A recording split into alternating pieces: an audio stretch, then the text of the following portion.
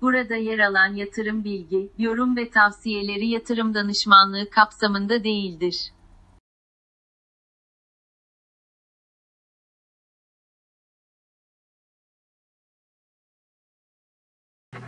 Herkese selam bu videoda e, 04 nolu kırmızı kapaklı A101'de aldığım e, varantisi çalışma defterimden bahsedeceğim.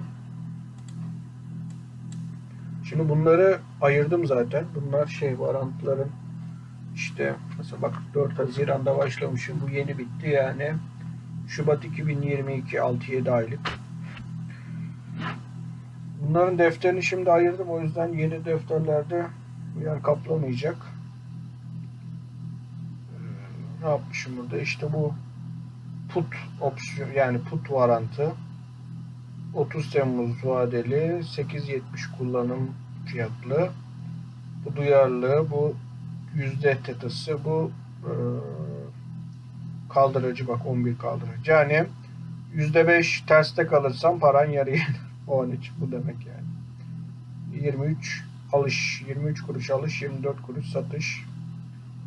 Ee, çok e, şey zamanlardı galiba. Bak makas dar.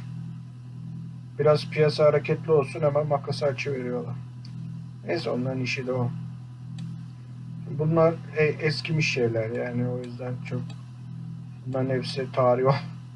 TKI LB tarih mesela kullanım fiyatı 14.50 şu an 30 lira Türk, Türk Hava Yolları bu Tüpraş kullanım fiyatı 105 şu an kaç 185 hani şey var bazen şey görüyorum hani yazıyorlar ama sadece kendi şirketleri gitmiş gibi ya da işlem yapmış gibi yazıyorlar ya sen yapmadığın şeyi yazar mı? Bizim evin tüketimi o yazmıştım biz ne kadar para harcıyoruz bunlara diye. Şimdi şu. Ha bu şey. Ee,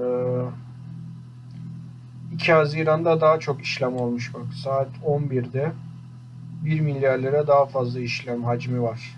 2'de 2.2 16'da 2 3 milyar. Yine 3 milyar bak aradan fark olmamış yani. Bir de %100 yani bir gün farkı 3.3 milyar.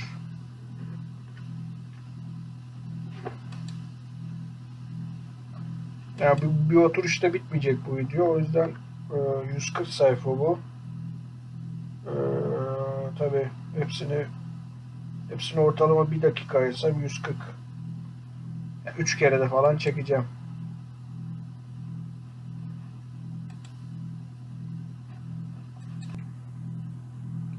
...15 Haziran Salı günü tavan kapatanlardan Getza, Marshall, Turex.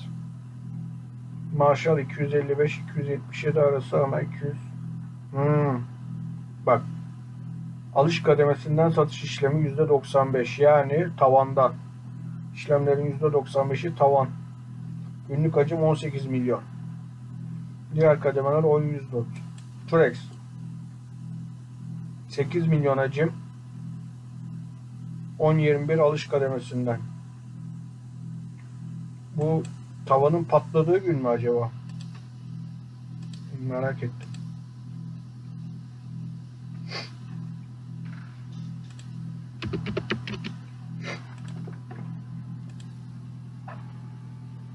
Yok hayır.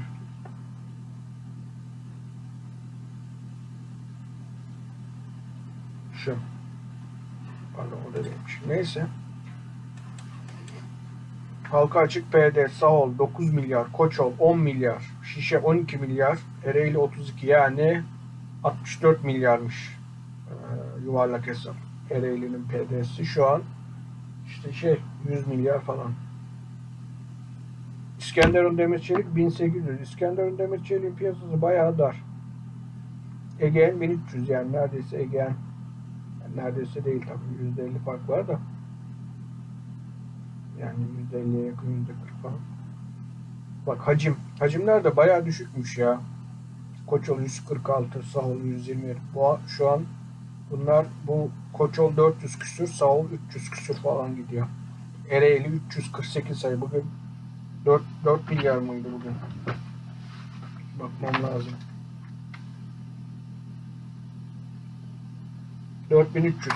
4328 lira şey olmuş. Şok 177 bin Migros. Mesela Migros'ta bir satış oldu. Yani hisse satışı oldu. %36'dan %51'e çıktı şey. Halka açıklık. O bayağı kötü bir şey. TKF çalışmışım. Bu şey fon toplam değerinin en yüksek değeri, en düşük değeri, pardon. En yüksek değeri, en düşük değeri bu da tedavüldeki pay sayısının e, pik değeri bu da minimum değeri. TCD bu da tedavüldeki pay sayısı. Niye böyle çalışmışım acaba? Neyse çok önemli bir şey değil. Makfonu. Bu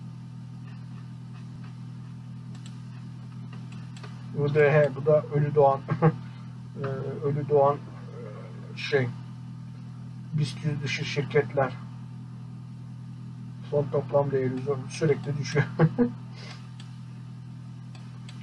Tüpraş 103 lira, hedef 115. 15 Haziran 2021 saat 21. Bak şu an 47 kuruş demek ki varant. 6 Temmuz'da 115 olursa 77 kuruş olacak. Ondan 2 hafta önce olursa 83.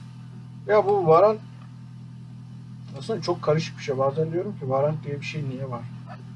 Hani normal vatandaş için bayağı karışık. Geçen bir sohbette bu Twitter Spaces'te dinliyordum. Yani adamlar anlamamış bile varantın ne olduğunu yani. Hani sanıyorlar ki hani fiyat hisse yükseliyorsa hisse yeşilse Ereğli'yi geç hani biraz yatay yeşil. Mesela şu. Sanıyor, sanıyorlar herhalde bütün Kardemir şeyleri varantları yeşil olmalı, para kazandırmalı falan. Yani bayağı bir cahillik var ama zaten şey de detaylı yani ben. Hani ben e, betonarmeden falan bildiğim için varantı biraz ona benzetiyorum yani. Yine burada şey çalışmışım bak. Gerçi o put mu yazmamışım galiba put bu. Bu Arçelik.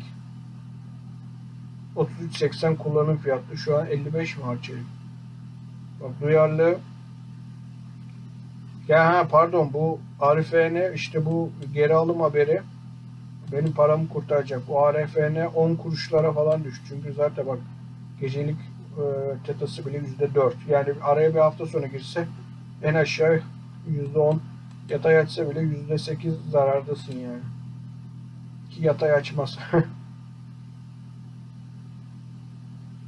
Bak Arçelik yabancı oranı. Tüpraş %38, Türk Hava Yolları %30, 53. Bu şimdi 57 falan Tüpraş'ın yabancı oranı. Türk Hava Yolları'nın da bu, bu civarda. Bak bir şey diyemeyeceğim de.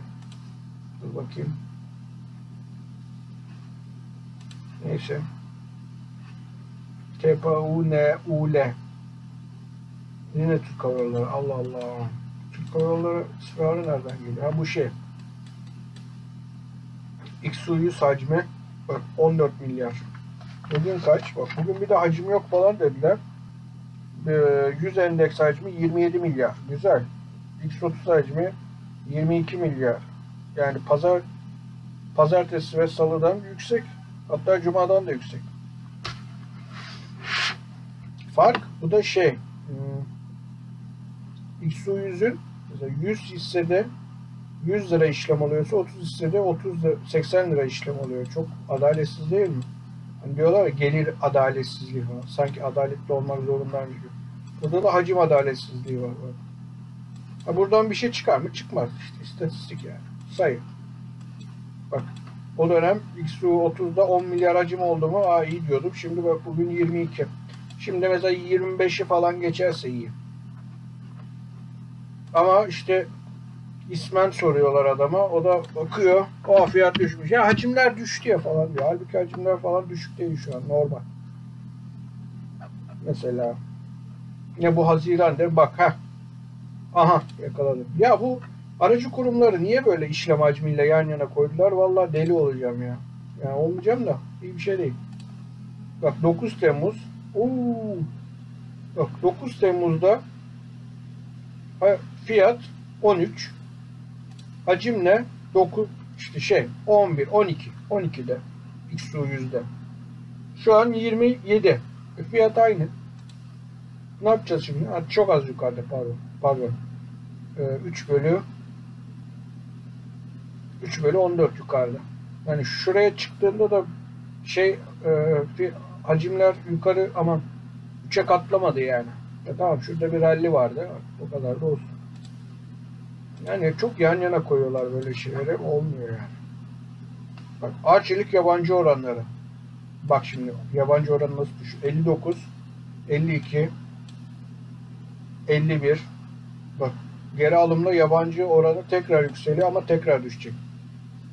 Bak nasıl şelale gibi düşmüş şurada. Şu arçelik. Kendi şey kafamın altından gördüm. Bak şimdi. Şelale. Zort. Ben şurada nasıl 3 ay yatay kalabildim? Mesela burada mesela tepeyi kıramadı gibi duruyor. Ama böyle ittiriyor. Sanki burada yataymış gibi duruyor. Halbuki işte yatay değil. Şöyle yani sırf satıcı şey gibi. Bu satışın günü şey endeksten çıkma falan. Bu hmm, neydi o? JP Morgan'ın bir endeksi var ya borsa yatırım fonu. Neyse unuttum şimdi. Bu Sabancı'nın görünümü. Şurası satış bak nasıl hacim. Yükseliyor hacimsiz düşüyor hacimli. Burada da düşüyor. Tekrar yükseliyor tekrar. Ya buralar testere işte yani şurada shortlayacaksın da bak mesela bir de şu var. Bak şurada toparlamış. Bak 9.20'ye kadar düşmüş. Sonra 20 kuruş yani 10 kuruş bunun yüzde biri desen yüzde iki. Belki eksi yüzde üçten yüzde bire toparlamış. Ama sonra tekrar aşağı. Tekrar yukarı. Biraz şey yani. Bu da şey 66 günlük ortalama. 22 günlüğü kesmiş. Bu da 22. Şurada nasıl bir çentik var bak 66 günlük. Tabii o, şunlar ortalamaya girince ortalamada yükseliyor demek ki. Bak zaten şunlar ortalamaya girince nasıl yükseliyor. Demek ki burası da tam yataymış. Oradan bunu anladım. Bak nasıl düşmüş. Ha, pardon bu Türk Hava. Oo, şu barların uzunluğuna bak bak. Fiyat barlarına bak. Bu çok süründürdü gerçi ya. Süründürerek gitti. Şey diyorlar ya spekse. Bezdirmeden gitmez falan. Bu da bezdirdi yani. Bak. Belki bu 10 kaç gün var burada? 3, 6, 8, 8 günde çıktığını bir de 8 günde buralarda durmuş. Sonra 3 günde düşmüş. Burada ne oldu acaba ya? Unuttum. Pazartesi günü kısa vadeli TR satın almalıydım. TKV ile 16 oyun. Oo, cesarete bak. Şimdi olsa almam. Ayın 25'i %2.25. Bak. Eksi 2.25 burada. 2.94 burada. Bu da 3.39. Yani hani şuralarda kısa pozisyon al, satım varantı alacaksın uzun vadeli. Buralarda kazanırsın. Yani para kazanmak için şöyle yeşil hani ya şöyle yeşil ya da böyle kırmızı barlar lazım. Onlar da her zaman oluşmuyor ama bakın lotlar ne kadar şey baya kötü durumda. Burada da şey yazıyor. Düşük hacimli hareketlerin devamı gelir. Duvar yazı. şey var. Amanoğlu Esteban. Onun gibi. Savol'de. 5 dakikalık grafikte. Ha bu şey. Bunlara bakmıyorum artık ya. Bir de Twitter'da şeyi seviyorum. Adama mesela iki sene öncekiyle aynı adam. Birebir aynı. Haziran'da baktığım şeyi şimdi bakmıyorum mesela. Tüpraş Netkar. Hmm, bu şey. 4-6'da güzel geldi. 6-9'da 6-10'da 6-9'da pardon 7-9'da güzel geldi. 10-12'de yine güzel geldi. Bak. Burada direkt FK sahibi oldu zaten şey. Bu Şu son 4 ya. 2, 4. Eksi 395 artı 384 eksi 400 eksi 741 artı zaten bu hani ilk çeyreğin içindeyiz. İlk çeyrekten sonra zaten eksi şey olacak, e, düşecek. Eksi hesap dördüncüden düşecek. Dördün. E, bir de artı olacak. Yani PK'yı aşağı çeken şey zaten düşecek. Bir de artı gelince iyice yani işte fiyat kazanç, alttaki kazanç yükselecek. O zaman FK düşer.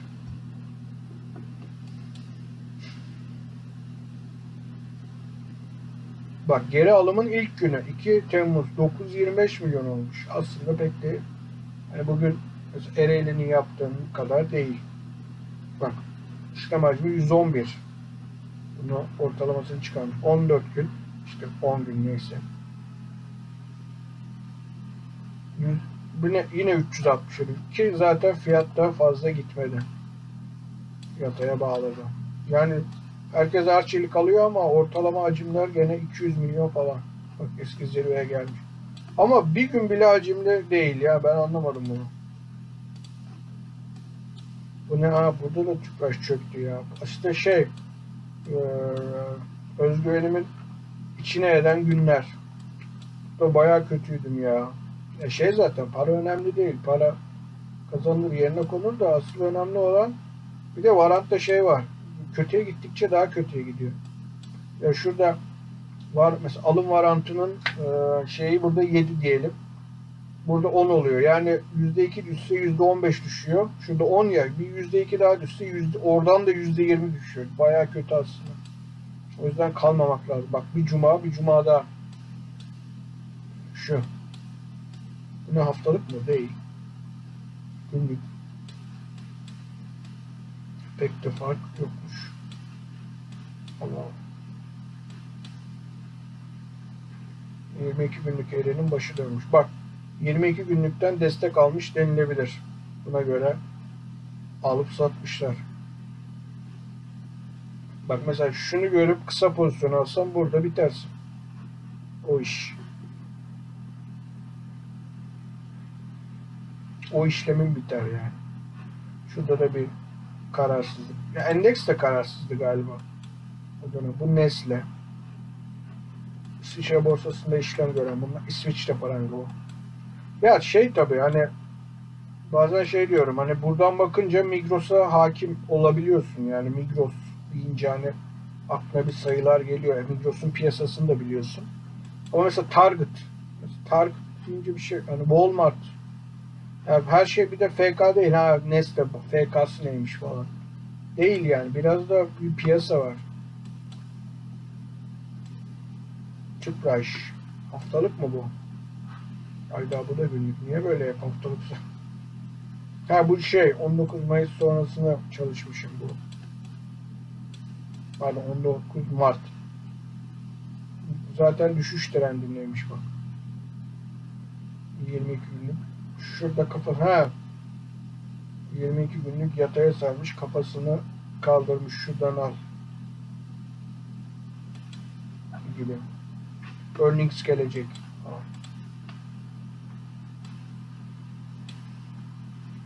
Yine enayi gibi Sabancı kısa pozisyon alıyorum.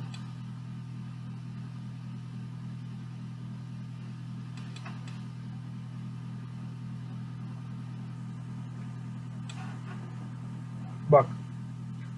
Kardemir bu. 6.88 kullanım fiyatı.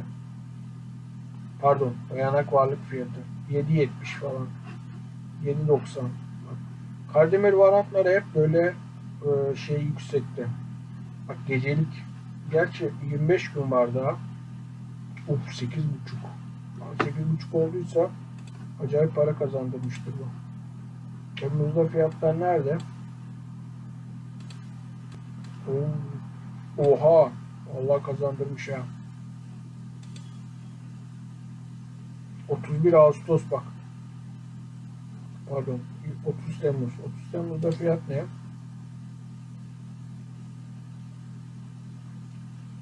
Yedi. Yani şu kazandırmıştır o. Bu ortalama fiyatlar. Bak. Akbank. 300, 300, 300. 1235. Bak Arçelik'e bak. Bu May, Nisan Mayıs 30 Nisan bu Mayıs ayı. Bu Aralık ayı denilebilir. 160 170 bunu daha önce göstermiştim zaten. İşlem hacmi çalışması şeyinde. Ha şu bak Temmuz'a geldik. Bu e, satın al bu geri alımın ertesi günü. Bak hemen nasıl ortalama yükseltmiş, kafayı kaldırmış ortalama. Kapanış 10 kuruş. Duyarlılık o kaldıraç 14. Gecelik data %4. İlk 40 dakikada önceki gün hacmini geçmiş. 6 milyon lot bu.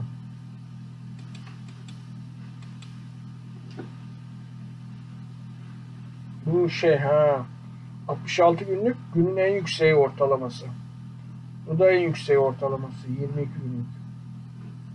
Yani son bir aydır günün en yükseğinden alsam bile şurada bak maliyetim bu olacaktı.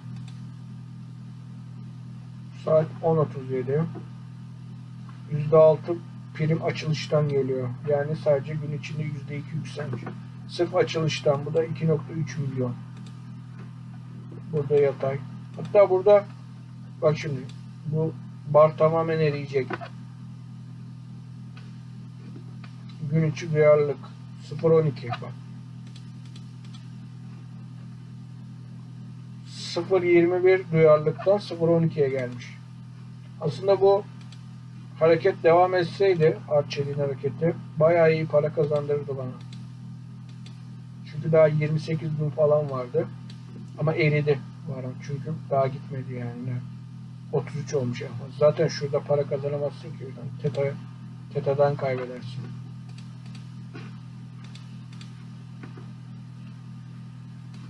Arı FN. Bak Arı FN. 30 Temmuz 33 80'den satma hakkı veriyor. Dayanak varlık 32.98. Duyarlılığı 0.10.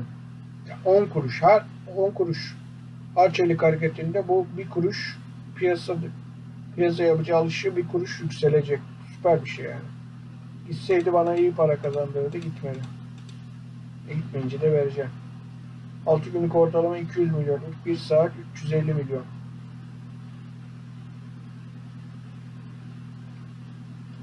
Bak satış var.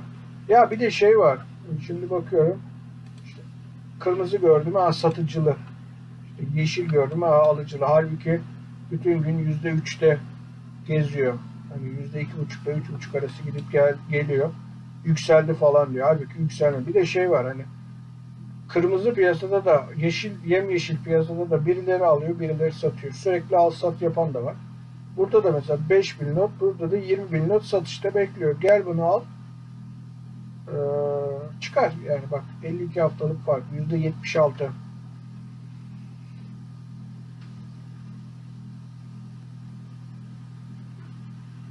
Bunun ortalaması 201 milyon. Zaten fiyatlarını belli direkt yukarı çıkmış. Hmm, bak. Duyarlılık bu işte bak. 14 kuruş. 14 kuruş hareketine 1 kuruş. Aa bak açılış fiyatının da altına inecek neredeyse diyebilir insan. %6 prim şeyden geliyor dedim ya. Gene yükseliyor. Sonra da burada kapatıyor.